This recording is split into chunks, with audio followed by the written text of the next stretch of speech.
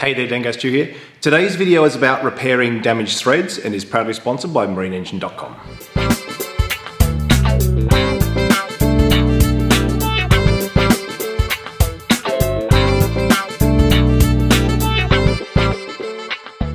Quite often in outboards you'll come across the situation where the thread that holds a bolt in has been stripped out.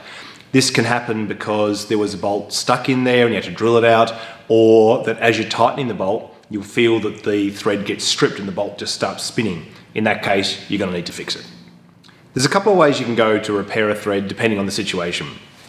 So if you imagine this is an engine block and we had the thread in here, then say there's a bolt in here and there's a certain torque spec you're trying to get to, say 70 newton meters, and as you're turning it, the bolt just keeps spinning, never gets any tighter, the torque wrench never clicks, and that's because this thread's just stripped out.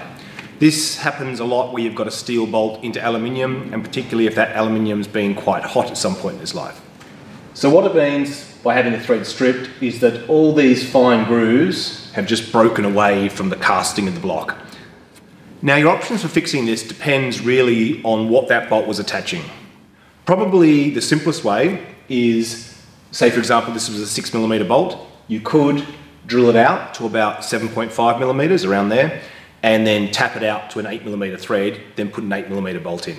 This obviously depends on there being enough metal either side to do that and it also depends on that 8 millimeter bolt being able to fit through whatever was being attached to the block. If that's a cylinder head, it means you have to drill the cylinder head as well. But if it's just something like a, a P-clip to hold something on, not such a big deal. Now, there's plenty of reasons why you wouldn't want to do that. Some situations you don't have enough spare metal. Other situations you can't drill a hole through the thing that you're bolting onto the cylinder block with or whatever the, the thread is in.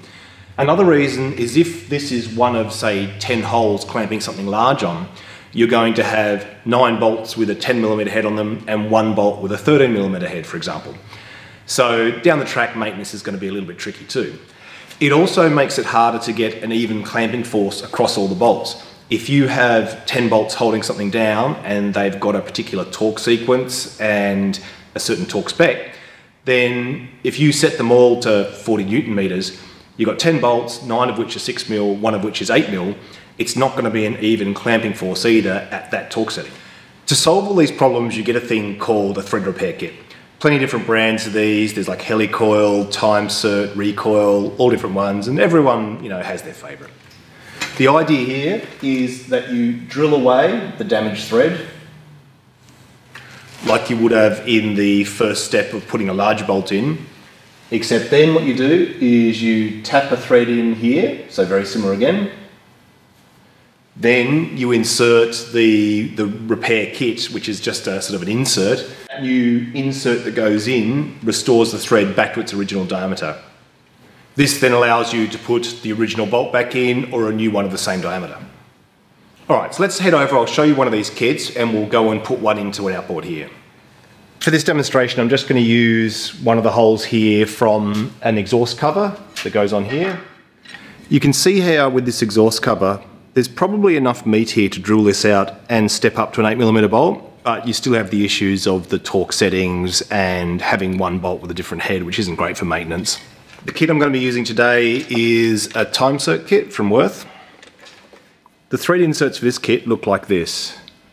So this is the thread on the outside that screws into the block itself. Then there's a 6mm thread on the inside and a little flange at the top. I've measured the bolt that came out of the hole and it's a 6mm bolt with a standard 1mm thread pitch and I can check this kit's right for it by simply just winding it into the thread repair insert so I know they're a good match for each other. In this kit you get four tools. There's a drill bit of a very specific size for this kit. Then there's a countersink bit for that flange at the top of the thread repair. There's then a tap for putting a thread into the hole, and then there's a tool for inserting the insert. So step one is to drill the hole out. The first thing I do before starting is just have a look how deep the actual thread is on this. you know, by putting, this is just an old tungsten, but I can pop it in the hole and there is a bottom to it. Some bolts go all the way through, maybe into a water jacket, needs sealant, all sorts of different situations. But in this case, it's a closed hole and it is exactly that deep. So what I'm going to do is I'm going to mark the drill bit just so that I don't end up over drilling it too deep into the block. So this is how deep I'm going to drill this. Round here you can see there's probably loads of metal to drill deeper and put a longer bolt in if I wanted to, but it's just something to be aware of and to be careful with. The drill bit that comes with the kit has a square on the end here so it can go into a T-piece. And to be honest with you, this aluminium's so soft, if I take this hole here for example, I could actually drill this whole thing out by hand. That was actually pretty easy with a T-piece, but I'm actually going to drill this one out now just with a normal cordless drill. If you wanted to, you could put a little bit of cutting oil on the drill bit, but to be honest with you, it's such a small hole to drill into very soft aluminium. By leaving the chips dry, it's actually going to make it easier for me to blow them out afterwards. Another thing that can be really helpful when you're drilling is if you've got a friend who can sort of look along the drill this way, make sure you're, you're sort of in the right angle here, then you can look down, make sure you're in the right angle here, that you're going in square.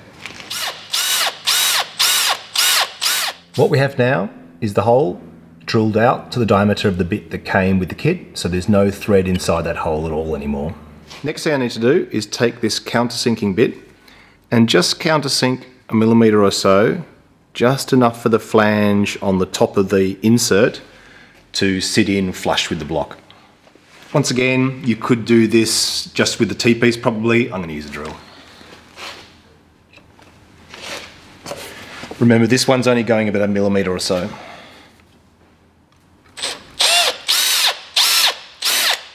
Now here you can see hopefully that the top of it's been countersunk slightly. Next tool from the kit you use is the tap that comes with the kit. I'm just going to put a little bit of grease on it just to hold the chips in here. As with the drilling we did, it's really important that you tap reasonably square. The tap will tend to follow the hole anyway, so if you've drilled it straight, the tap's likely to follow it straight as well, but just try and be careful to get it, you know, as plumb as you can.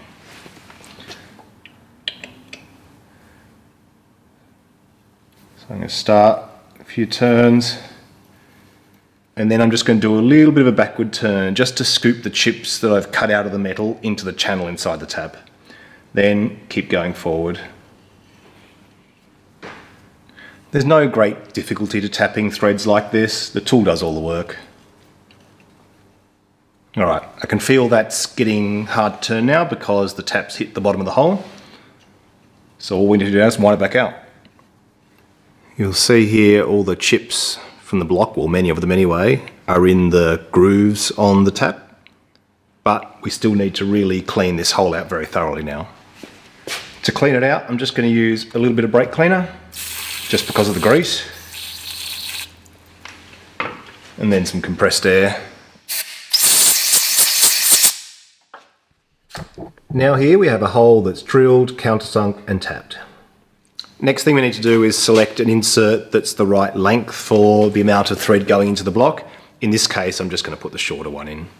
The final tool we're going to be using is the insert tool from the kit, which essentially is the same thread as the bolt that's going in, but it's actually got a slightly square profile to it. I'm not sure how important it is. I'll explain something about what locks these inserts in though on the board, and perhaps that's something this tool does help with. Because we're going to be using the tool to put the insert in, then pulling the tool out on its own, I'm going to put a bit of oil on the tool. Then thread the insert onto the tool, and then the insert into the block. Now the insert itself went into the block very easily, but we keep winding with the tool until the tool has gone right through the insert. As you get to the bottom of the insert, winding with the tool, you'll feel the pressure on the tool increase quite significantly. Bit of a turn, and then pull it back out.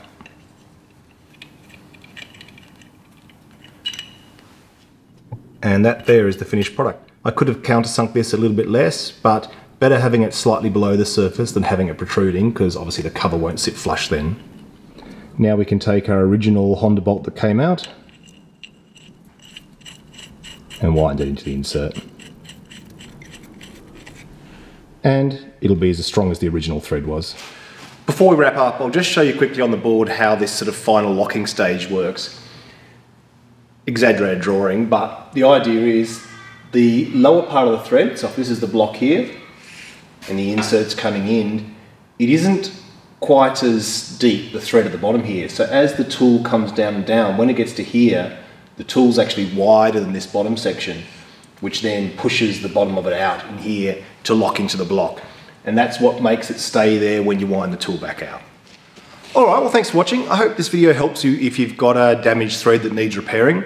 I definitely think you are better off for a number of reasons we talked about putting a thread repair kit in rather than just tapping to a larger bolt, but there are a couple of options.